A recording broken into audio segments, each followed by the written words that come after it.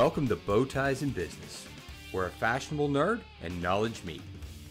Regardless of whether your career is just starting, steady, or stalling, join me and a collection of business and thought leaders who are experts in their field as they share their decades of firsthand real world experience from the ground floor to the executive suite and every corner of the business world.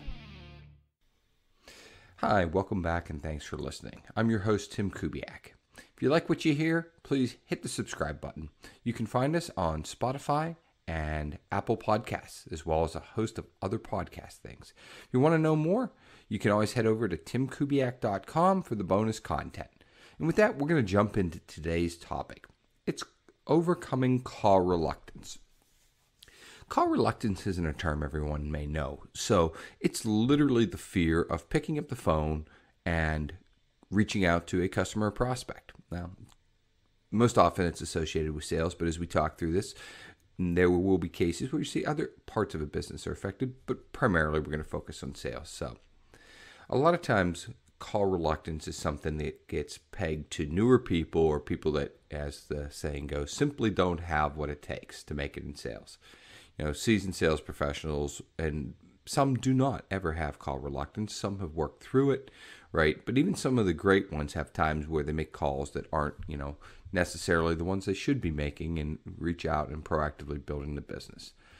You know, so what is call reluctance in a little more detail? It's nothing more than not making a call.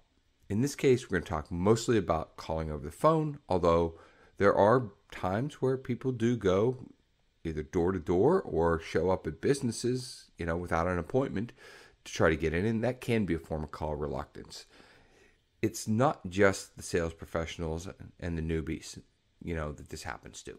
Even some of the greatest hunters occasionally, and hunters meaning new business development and new customer acquisition people, put off reaching out or making contact with customer or prospect. And that's a challenge because at the end of the day, it totally impacts your sales. Now, if we look at the other parts of an organization, you know, and everyone goes, oh, salespeople make all the calls. That's actually not completely true.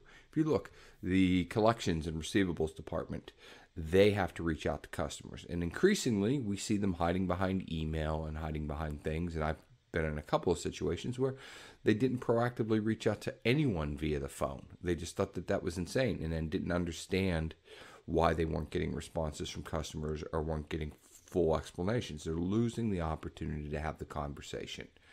Other areas that are guilty of it at times can be service departments or logistics departments. They they don't have a component or a part, you know, they don't get to a customer problem quickly, you know, or they have to deliver bad news. Sometimes they avoid making the call or put it off.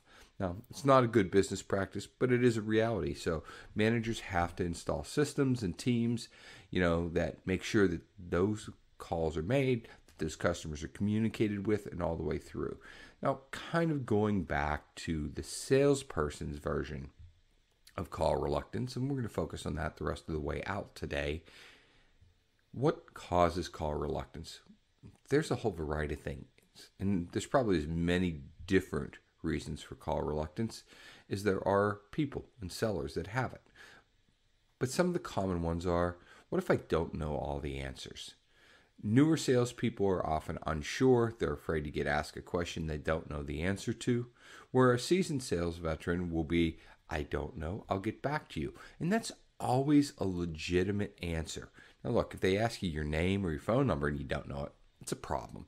But if it's a technical question, if it's a specification, if it's something like that, that's not a reason not to call. Actually, that's a great reason to show that you're trustworthy, that you're going to go get the correct answer and reach back out to the customer.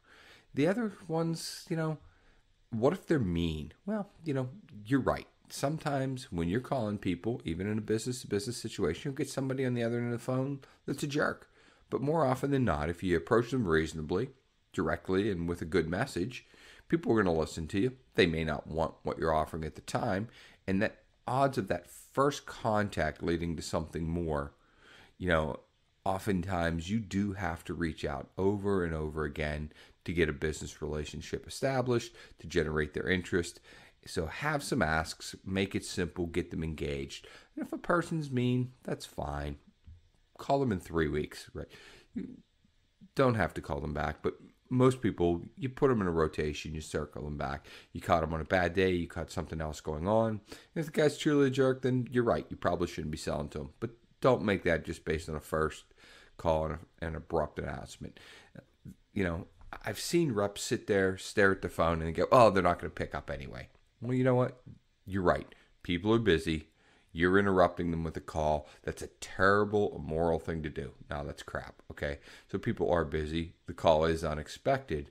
So if they don't pick up, have a message, have a compelling voicemail message, you know, have a reason that they want to call you back. Even if it's a customer you know, you need those things. So it's a good practice to have all the time. Now, a few words of caution, right? Um, modern technology has made it so these robotic dialers, these scam calls, and whatnot make it so more and more people aren't answering their phones. And, and that is true. And that's why it's equally important to have multiple contact numbers when possible to get a hold of somebody and to also have a strong message when you call. Because if they dump you right into voicemail, and it may happen, have a compelling reason, start to establish yourself and your name and your reason for calling, and just move on to the next one and come back around to that person. Now, often in the, uh, you hear a rep, I'm not sure of the value. Well, first of all, the value is not never what your company says it is; it's what the customer says it is. But beyond that point, you know, if you don't know the value of what you're selling, the features and benefits, and how it helps the customer, go do your homework. But then pick up the phone, right?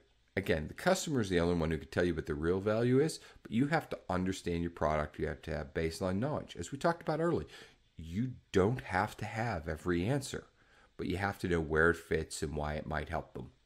Now, there's other options too, right? And in many cases, as with sales getting more technical around technology and even other components in industries, you'll have an engineering person or a system design person that's part of it, and they can help articulate some of the value. In which case, your value to the company is to get the meeting, get in front of them, and really learn what the customer's needs are. Times have changed, and technology is a great thing but it's also caused some non traditional forms of call reluctance I've seen with people I've coached in the past couple of years. The first one is getting ready to get ready. Once upon a time, the joke was you know, you got a job, they handed you a list of customers, prospects, or suspects, which somebody they suspect might someday buy something, or the yellow pages and say, here, go build a business, kid. You have, you know, you have everybody in this zip code. You have this, you have that. And there is still a bit of that. However, now there's so many tools for researching customers, for understanding the company, their credit rating, their size, who their officers are, who their sales leaders are. And if your company's providing you with those, that's fantastic. Right. And there are even ones that go in and say, let's look at their social media profiles, let's look at their LinkedIn profiles. That's great. Have as much information as you can succinctly, but don't paralyze yourself with data. Don't get ready to get ready so you're ready to call eventually, someday, kind of, sort of. Create a system for yourself where you can get the information you need for those initial contacts and conversations efficiently and effectively and make the dials. I watched a rep one time spend two weeks getting ready to make the first 20 phone calls. He knew everything about everybody he was calling, except what they were buying or why they might buy it. So, again, don't get caught up information overload you know, have relevant information, create your own system and be efficient. Yeah, that might take a little bit of time, but it's a good thing to do. The next thing is is, is the email trap, and I'm going to do a whole separate piece on this down the road. But so often people are hiding behind emails, and I'll pick on millennials specifically in this one, right? I see millennials at their desk. Oh, I sent an email. No shit, you sent an email. Do you know how many unsolicited emails I read, and I'm in sales, right? So the, the answer is, is email is a great way to continue a conversation. If you already have a relationship, it is a great way to confirm an order, quantities, options, convey information like tracking numbers, and at times a follow up email after a conversation or a meeting is an extremely powerful tool. But sending a blind email into somebody, the chances it's going to get more than a three second look in any real consideration, emails are impersonal. And I know there's entire industries built on automated emails and things like that. And I use some in my business too, but it's when people request information. So we're going to talk about the email trap, not falling into it when it comes to selling. Another one, and this one I actually I fall prey to. I've seen some great sellers fall prey to, and sometimes it's just you're having a bad day or you're off, and instead of making the hard calls to either difficult customers or prospects you really need to reach but you haven't, you spend the day making safe calls. And every so often it's okay. You call your best customers, you know, not really for the best reason, but they'll talk to you because they're your friends and they give you business and everything. So instead of calling friendlies and making, you know, you know, make inroads, do the hard calls even even on those days, you know, and then have a purpose for your call. If we have an ongoing business relationship and you know it was, you know, I had something going on or whatever, your customer had something going on on the weekend, it's fine to call in and talk a little bit about that. But generally, just calling to check in is a waste of time. Now, this isn't necessarily a call reluctance thing, but I see reps do it all the time. Hey, I'm calling to check in. You got anything for me? Nope, Bob, go away. I don't, right? And the reality is, is the check-in call has a purpose as long as the call has a purpose. And there are times where it's just part of relationship building, that still should have a bit of an agenda, should have a bit of a flow, should have some business reason behind it. And then the last thing I'm going to tell you is one of the best ways to get over call reluctance is to set aside dedicated time. Don't make the dials because a manager tells you you have to.